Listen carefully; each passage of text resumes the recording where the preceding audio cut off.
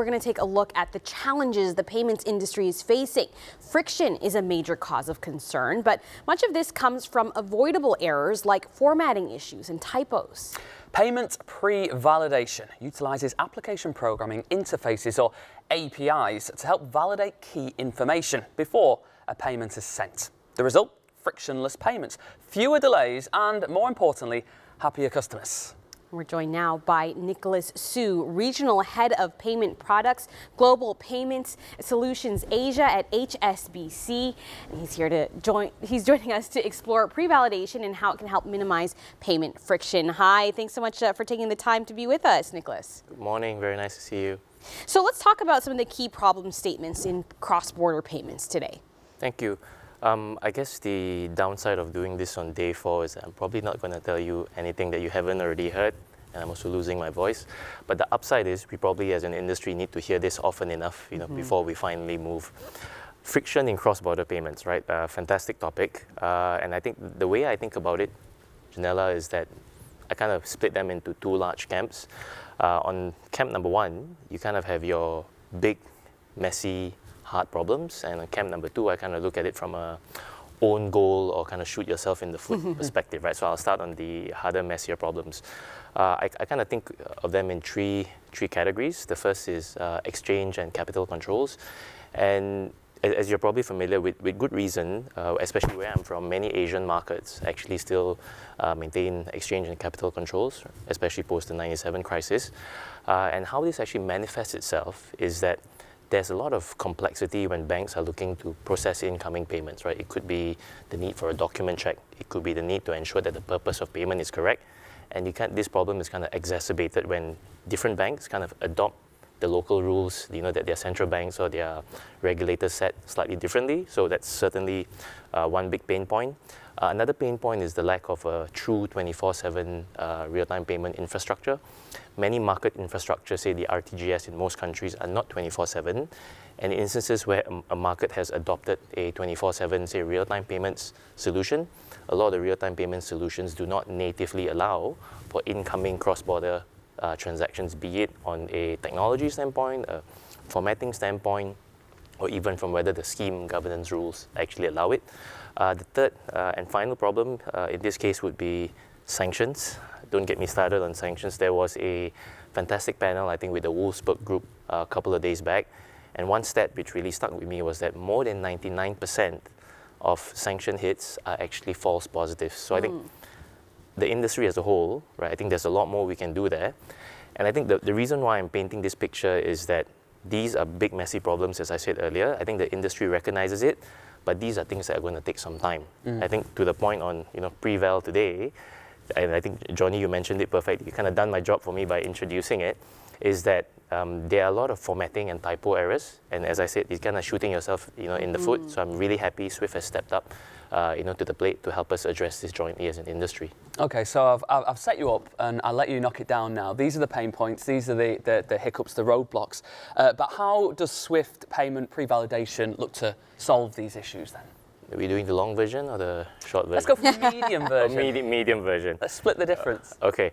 Um, I think for me, the clue is in the name, right? So pre-validate. Mm. So in this instance, you are, it's as simple as you are doing a check uh, on the beneficiary details before the payment is actually processed. And for those of you from the UK, it's very similar to confirmation of payee. Uh, in Asia, quite a few of the markets have also built something similar into their real-time payment scheme. So again, we can get into technical details of, you know, is it the basic uh, beneficiary account validation? Is it the Swift-led uh, central uh, Penny account validation? Swift has also launched like the contextual validation, but you know, simplistically put, it's just about doing that check up front. And it's actually easy for me to say that, you know, these are self-inflicted wounds.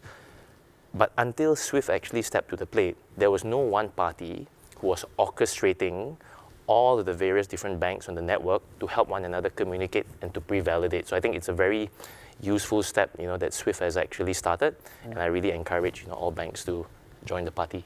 And what about HSBC? How, how is HSBC using pre-validation capability? Okay, so I think we're doing it in a phased manner and we're phasing it across both our participation model as well as the uh, customer channel initiation. And I'll elaborate briefly on both. From a participation model standpoint, I think there are two broad roles. You can be a consumer and you can be a responder. So from a consumer standpoint, all that means is, as a remitting bank, I'm giving my clients the option to pre-validate whether or not the information is correct. So in this case, we're connecting to SWIFT, who in turn connects with the beneficiary bank to validate whether the information, say the uh, beneficiary account name or the account number, is actually accurate or is the bank account actually open. So that's one perspective from a consumer. A responder is simply the opposite. So the responder is the bank that's responding back to the call from SWIFT to validate whether or not the information is correct.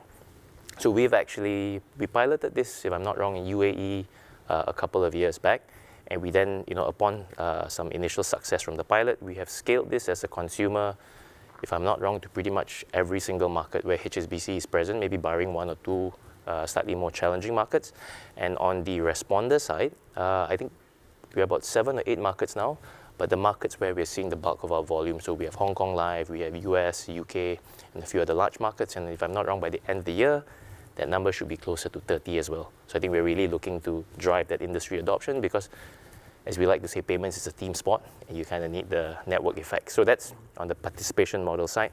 On the uh, client channel initiation side, we have started with HSBC Net, which is our global internet banking channel. That's where the bulk of the transactions come from. But as and when clients tell us, hey, you know, uh, HSBC, we would like perhaps to initiate via APIs, or some clients are on host to host, I think we're in the midst of co-creating and listening to our client feedback there as well. So people watching this uh, at home, they're considering, the bank's considering joining Swift's uh, payment pre-validation. What advice would you give to them? Uh, you've got your soapbox. Uh, what, what advice would you throw to them? Join now, don't wait.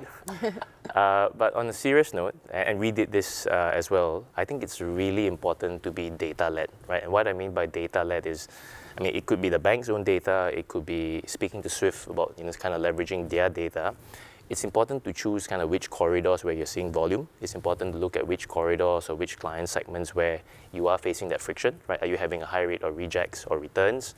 And I think you know that kind of gives you uh, the best way to select your pilot market. And once you kind of see that initial success, just like what we did, you can then kind of look to you know you can look to scale that out. I think the other thing, which again is quite uh, dear to my heart uh, from a product management standpoint, is that we cannot assume that once you kind of launch, you know, your shiny new widget, you know, on your internet banking channel, that people know what to do with it, or that people are, you know, uh, or clients, you know, actually want to uh, click on it. So I think what we did was we really had a very concerted effort in communicating this both internally within HSBC. It's like it's like breakfast talks, it's you know uh, internal talk shows, uh, many many email blasts, as well as to certain uh, clients. So it was broad-based commercialization. We did LinkedIn posts, uh, you know, and I think we even, for a lot of our key clients, going back to my point on being data-led, we also contacted them specifically to tell them, hey, we have this, you know, we have this new feature, uh, and it's proven to be, you know, really helpful in minimizing friction. So I think that that was the journey that we went on. Uh, as I said, payments is a team sport, and I'm very happy, right, if any of the banks want to speak, reach out to HSBC or myself to kind of share our journey in a bit more detail. Nicholas, we're so glad you came to chat with us about something, as you say, you've been chatting about all week, and, and uh, we hope uh, uh, your voice recovers from uh, all the conversations you've been having. Thank you. Nicholas Soo, Regional Head of Global Payment Solutions Asia at HSBC. Thanks for your time and enjoy your final day here at Sibos. Thank you so much.